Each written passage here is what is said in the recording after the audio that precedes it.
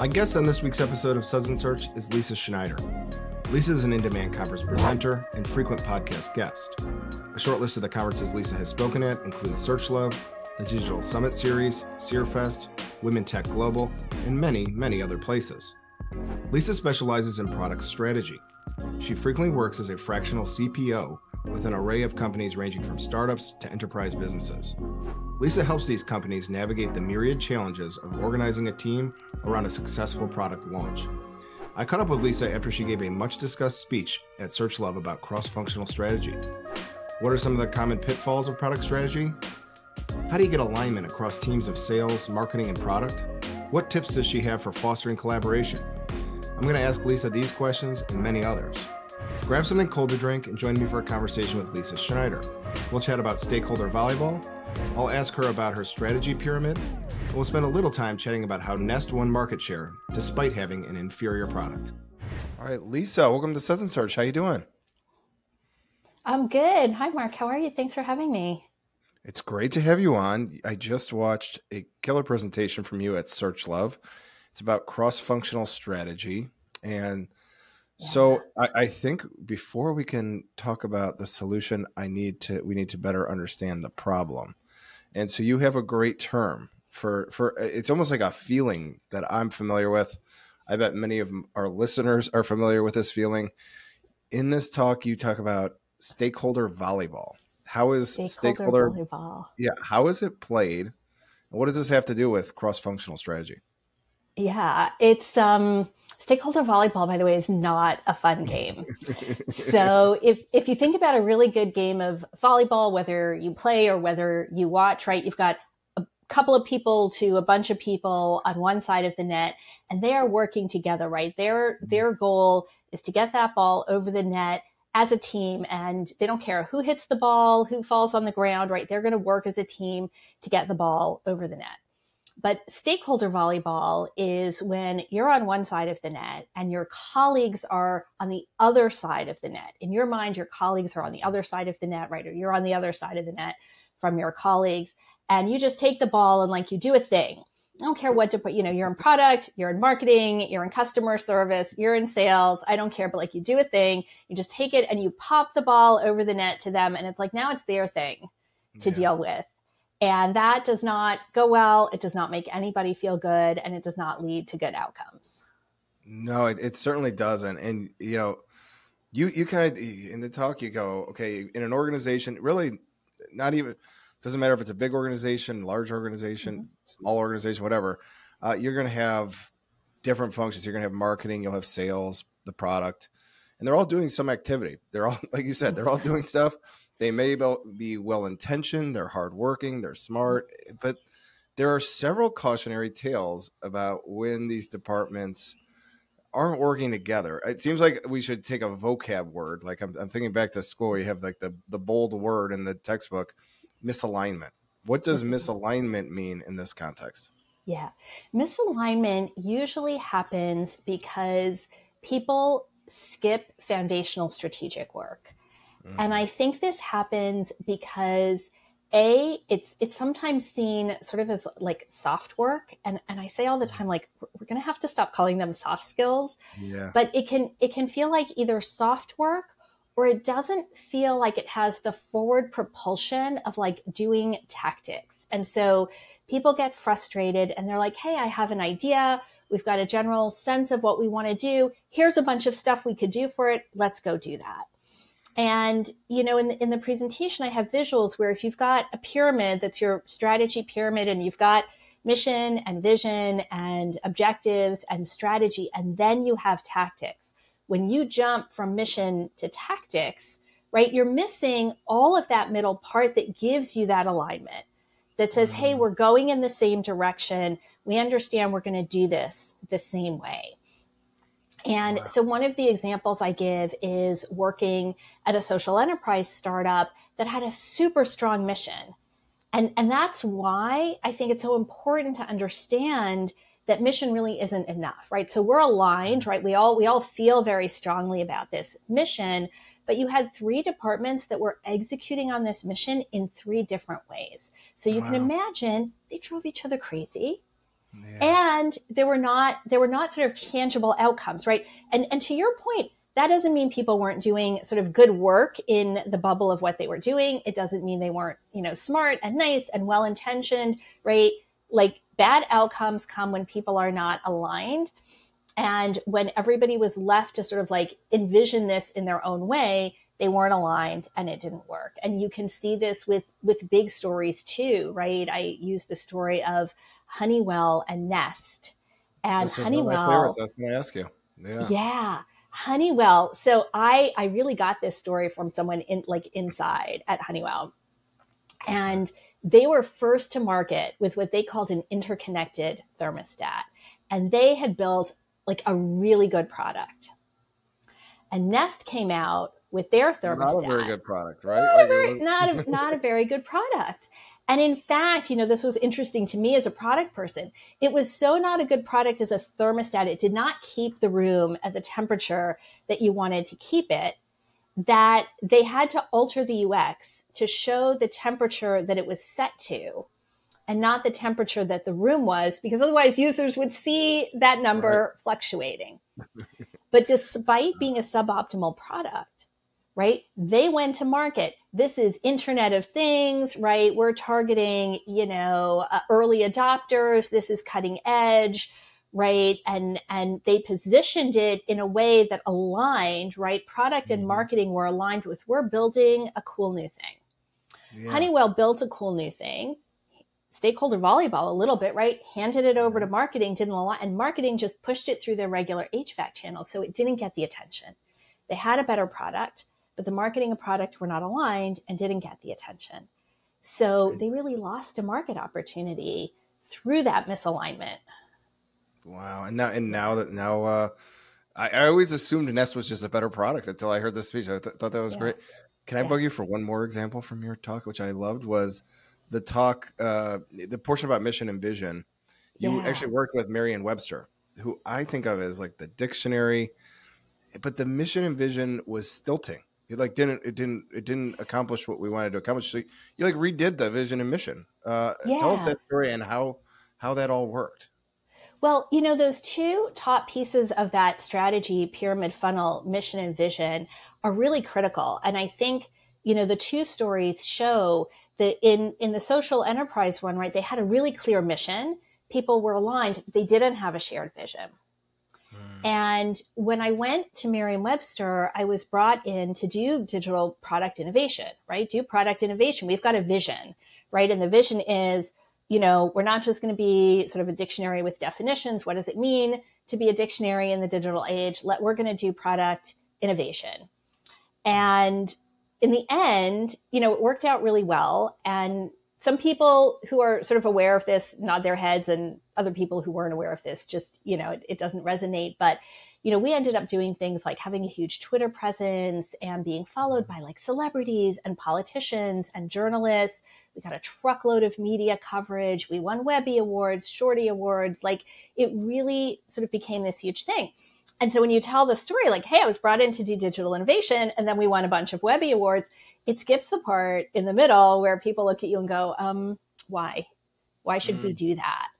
And that's because there wasn't a mission. The dictionary had been right. If you think about Merriam Webster, I mean, listen, I got there, it was a 170 year old company. It had been chugging along perfectly fine. Right? It was a trusted brand, it was authoritative, it was respected, and and they wrote dictionary definitions.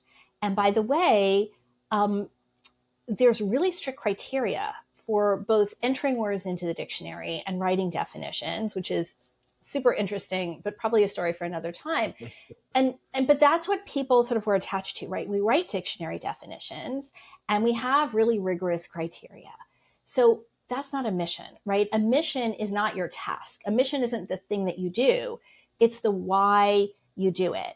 And so without the why, they're focused on the task. We write dictionary definitions. What do you mean you want to go on Twitter and build a vocab learning app and start a podcast and right do all of these sort of new products? What do you mean you want to sort of replatform and, and do a new database and and you know we need new technology? Like we write dictionary definitions.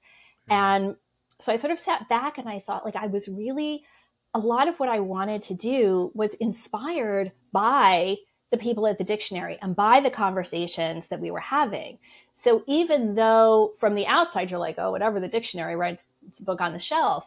Inside, people are like super smart, super quick, clever, funny, right? Sitting around geeking out about language, like the intellectual bar was really high. Yeah. And so I said, okay, I'm I'm going to write a mission based on on what I'm seeing. And so I wrote a two part mission. And the first part was to propagate our irrational love of the English language. And mm-hmm. irrational is because like English is a hot mess and it doesn't make any yeah. sense. I love but that. you know, I was an English major, right? Everybody there really cared about language, believed that words matter. And the second part was to help people understand and use language better so they can better understand and communicate with the world around them. Mm. And so when I shared this mission and, and somebody once asked me to talk, like, how did you do it? And because they imagine like you get everyone in a room and you write stuff down, you put the yeah. sticky notes on the wall. And in this case, mm-hmm. I just wrote it. But I circulated this and everyone went, mm-hmm, yes, like that's who we are. That's what we do. And then I said, okay, if we are here to propagate our rational love of English language, let's geek out about language on Twitter. And then they're like, oh, okay. Right, right. Oh man, I love this. And I mean, the the, the yeah. strategy pyramid is very cool. I I think about, um, you know, most conference presentations that I listen to, and I go to a fair amount of these conferences, are about tactical things, or really like esoteric uh, digital marketing advice um, really good presentations talk about strategies. You have this pyramid, and I, I you know, we, we got to put a, an image of it up there on on the screen or something like that. But it has strategy and tactics towards the bottom. So tell us about the pyramid and why. You, know, you mentioned a few times already, but why yeah. alignment along these pil- the, the pillars of this pyramid leads to success?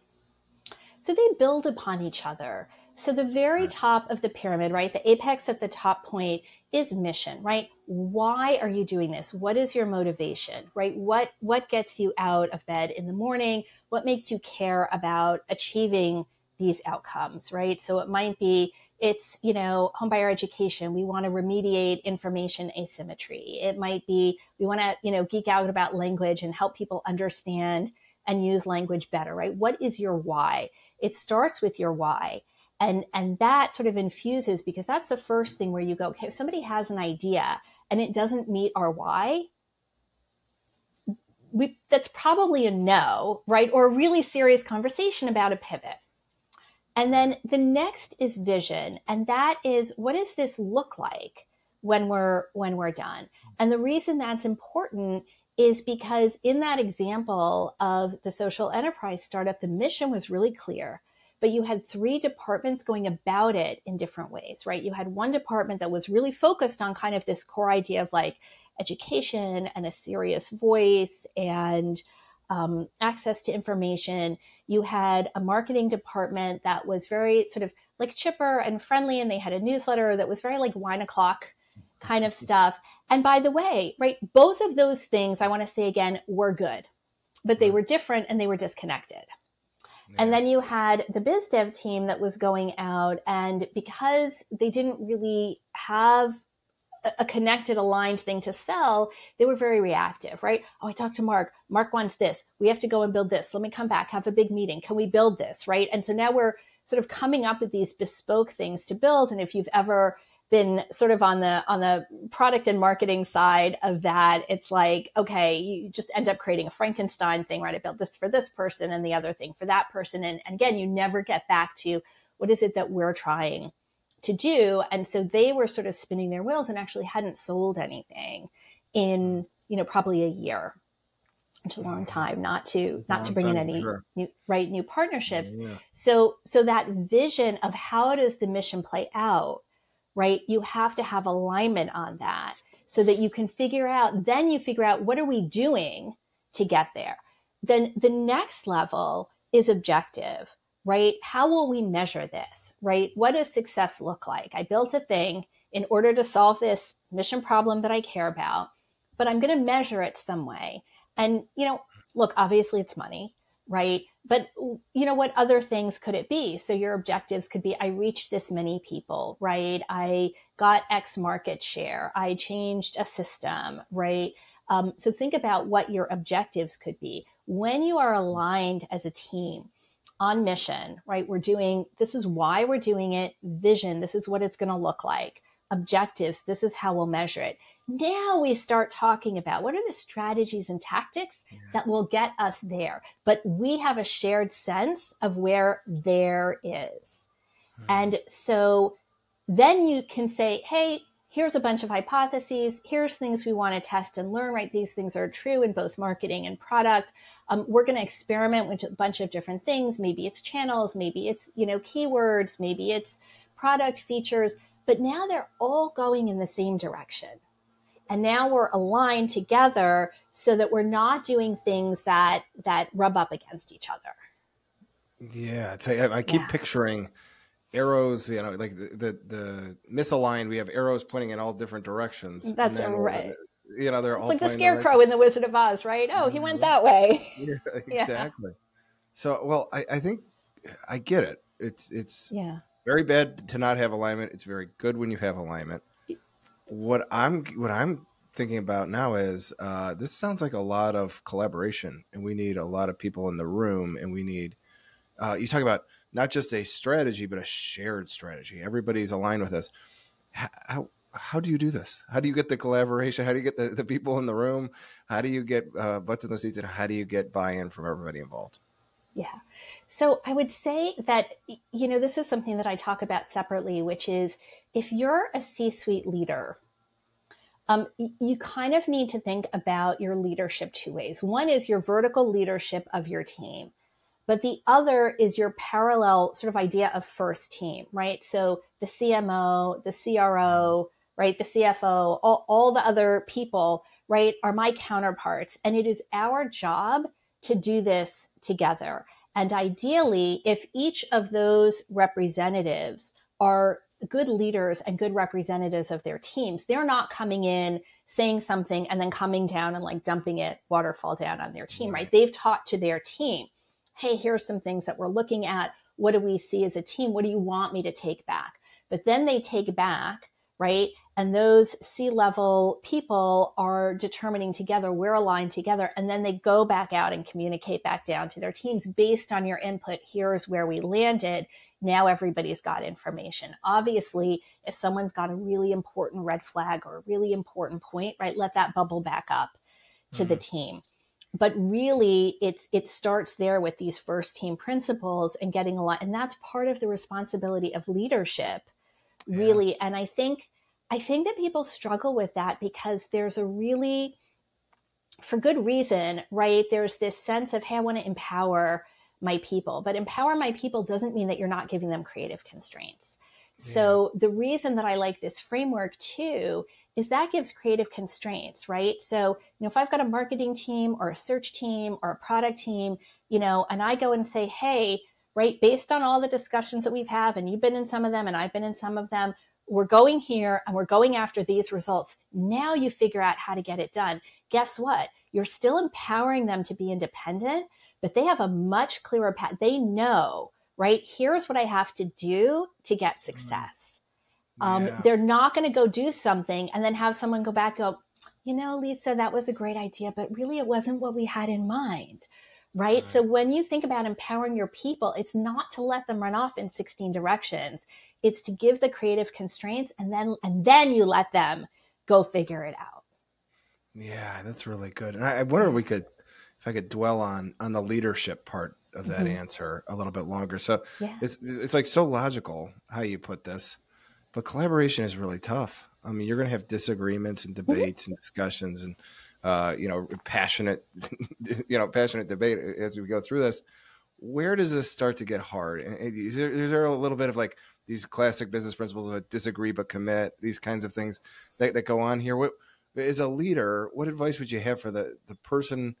in that room who's trying to shepherd this discussion along and this debate along. So it's, it's constructive. Everybody's getting their point of view across, but it's going to get tough at some point, isn't it?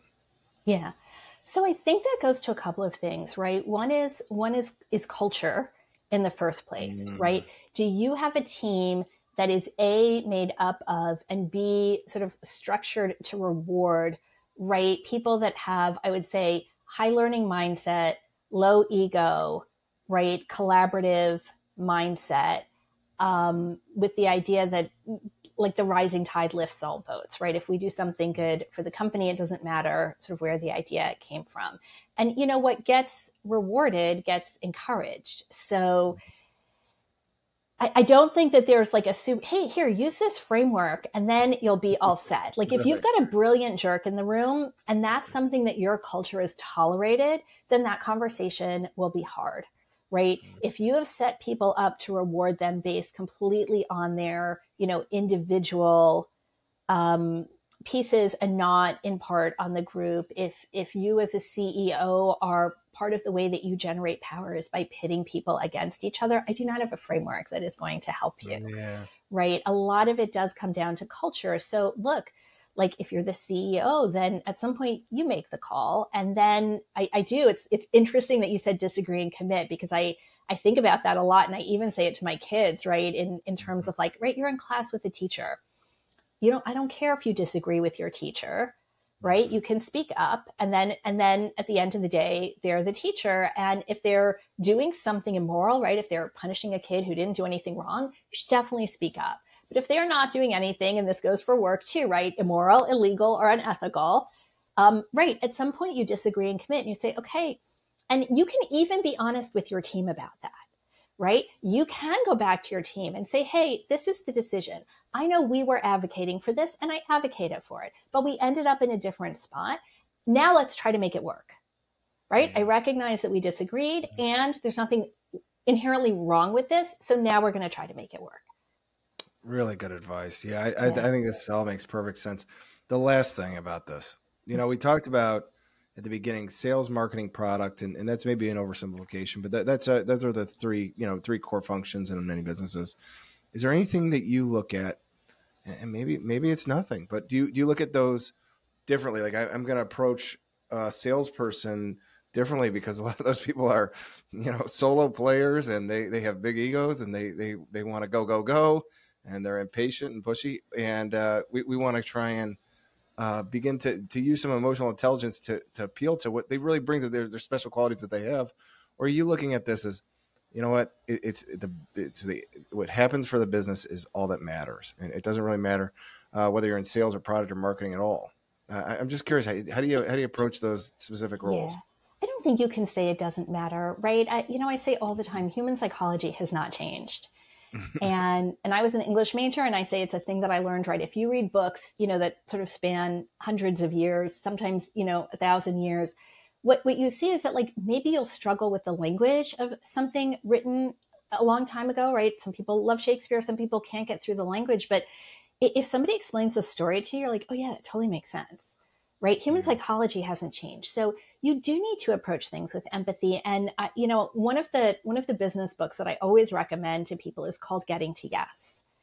Mm-hmm. And it's not new and it's not super trendy, but it is really about not like digging into your line in the sand and and almost not letting your I want to say counterpart in a negotiation, but just colleague in a discussion do that. It's like, why do you need that? Right. So, yes, salespeople get monetized on sales. They want the things that, that they think will go out and do that.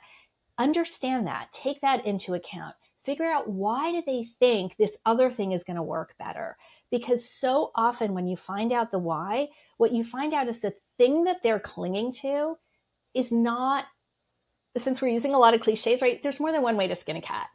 So yeah. tell me why you need this because maybe I have another way to do it that'll meet both things. And so that's like really important. If you can get underneath the rationale, like, okay, the super corny story, this is a super corny story from getting to yes, is two kids are in the kitchen and they're arguing over an orange. And the mom walks in and she's like, all right, it's not a baby. I can cut the orange in half. So she says, okay, we're going to cut the orange in half. And the kid's like, no way, I need a whole orange. So the mom says, well, why? Like, why do you need a whole orange? And kid number one says, Well, I'm going to a birthday party and I promised to make a cake, and the cake requires the zest of the whole orange. Mm. And kid number two says, Well, I'm going to picnic and I promised to bring a fruit salad, and I need the whole orange to fill up the fruit salad. And guess what? I can zest it and then you can cut up the fruit. And like, it's mm. not always that easy, except sometimes it is almost that easy. Right. That's a, that's a great story. Well, listen, Lisa, you really you really had an amazing speech at the very last Search Love. So everybody's sad that this conference is ending, and must have been quite an honor to be there. Uh, if people want to learn more about you or connect with you online, where should they go to do that? What's your favorite social media? Those sorts of details. Yeah, I'm, I'm most active these days on LinkedIn. So find me. I'm Lisa Schneider and I'm on LinkedIn. That's the best place to find me and connect and chat. And I'm always nattering on about stuff like this. Well, I love it. This is like right my kind of thing. And I've really enjoyed this conversation. I'm going to give you a virtual cheers. Thanks for uh, closing out your day with us. Yeah, awesome. And uh, hope your son's arm gets better and everything like that. I, I remember that pain. So, uh, Lisa's son's broke her arm right before broke his arm right before uh, the speech as we were talking yeah. off air. But yeah, um, it's a bummer. He's all right. He's healing nicely. All right, I've, I've been there. I, I, have some tips. if I could sign his cast, I would. Um, for for everybody else watching, we'll be back next week with another episode of Suds and Search. Thanks, Lisa. All right, thanks, Ron. Bye.